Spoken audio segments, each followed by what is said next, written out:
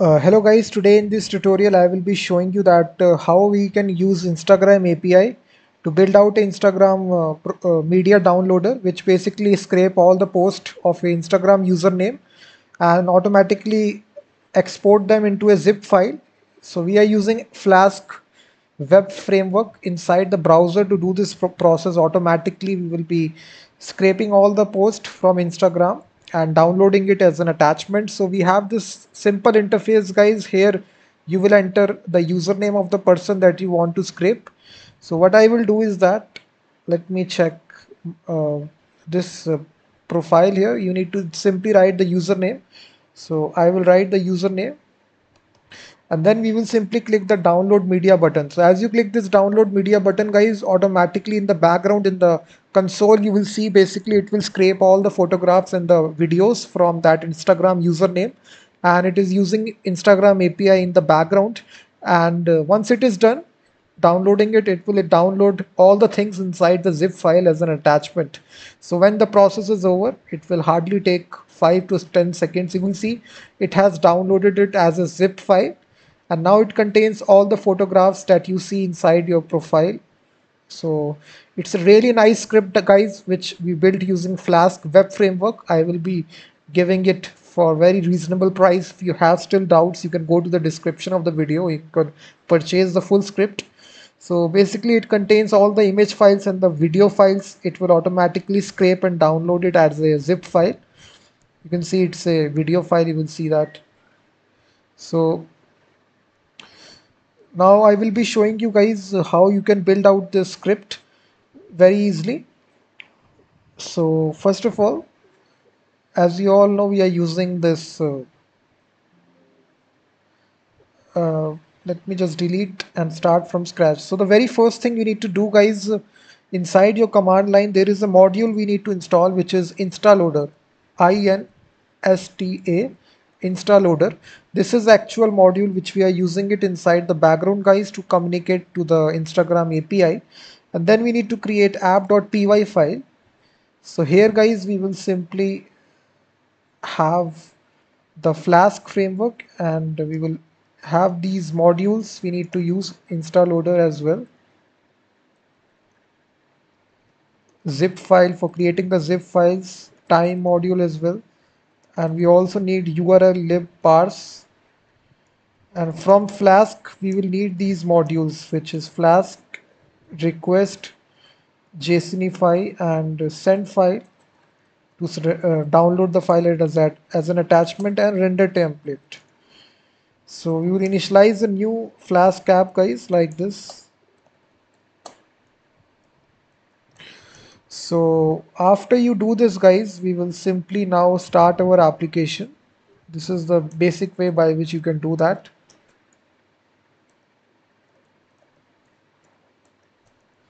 So here we will simply say app.run and we will pass this option debug to true.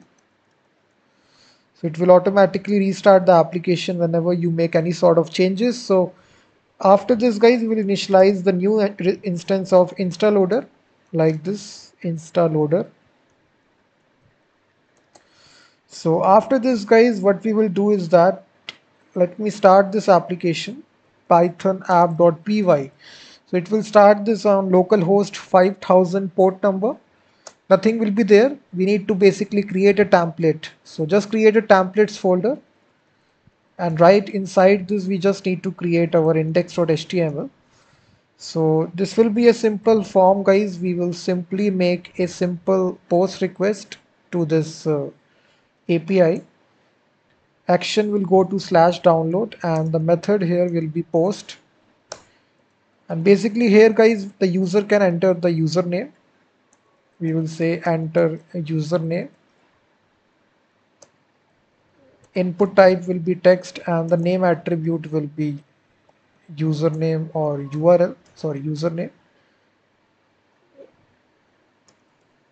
And the button will be download media that's all. So button will be of type submit.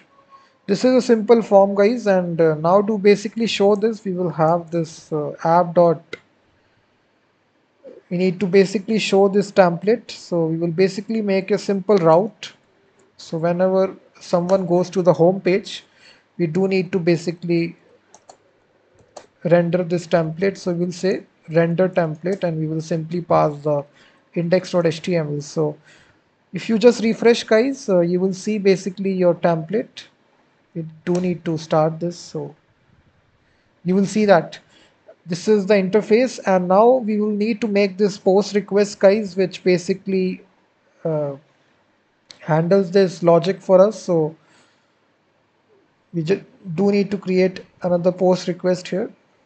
A route app dot route.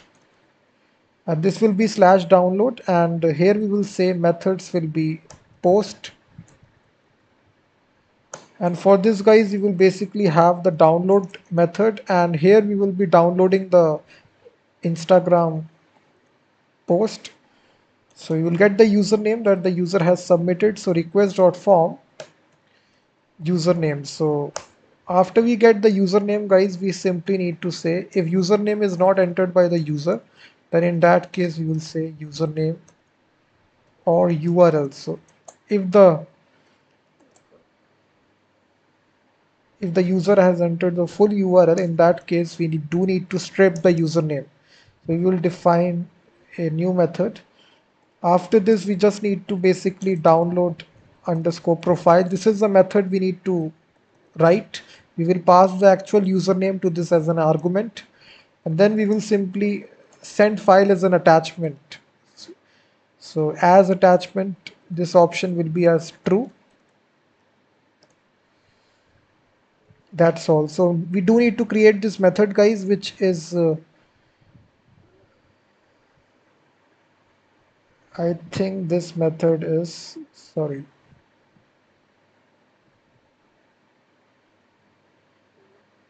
okay after we get this username we do need to say to have this get username. So like this. So we do need to basically create this method guys. So just copy this paste it.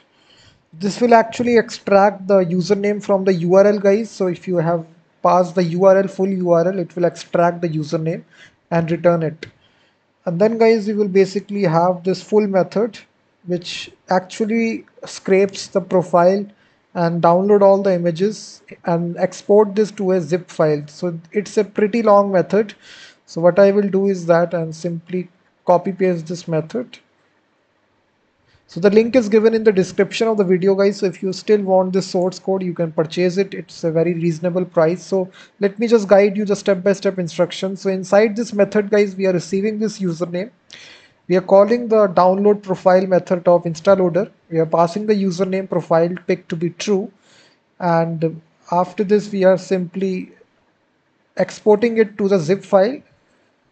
We are choosing the extension MP4, JPG, JPEG and PNG and then we are returning this zip file as an uh, from this function. That's all. So this is all that you need to do guys for this application. If you just refresh it.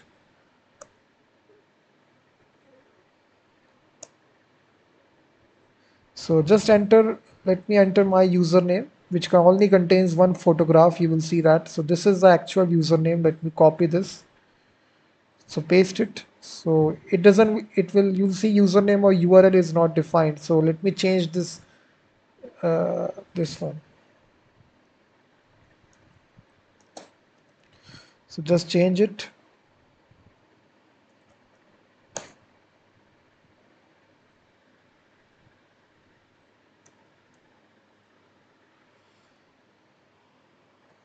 Enter the username and click on download so it is saying uh, key error username. Let me see. I think guys let me paste this full source code. Sometimes error can take place so let me paste the full source code. The link is given in the description guys. You can purchase the full source code and this is my index.html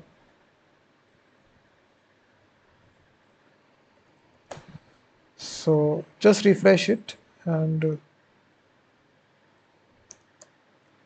let me write this username and it will hardly take two times. So it only contains one photograph. You will see it's a profile picture and the actual post. So you can take any example here any username that you can take guys. You can take this username. Mitch click. So it basically contains 74 posts so it will take a lot of time. So one by one it will go through. You will see that. It is scraping all the post here downloading it. And once it is done it will basically download the zip file. So make sure that you wait for longer post if you have thousands of posts. Just make it in, run in the background. And once it is done it will download all the photographs inside the zip file so it's a pretty handy script guys which is a web application you will see. So this is basically you will see that.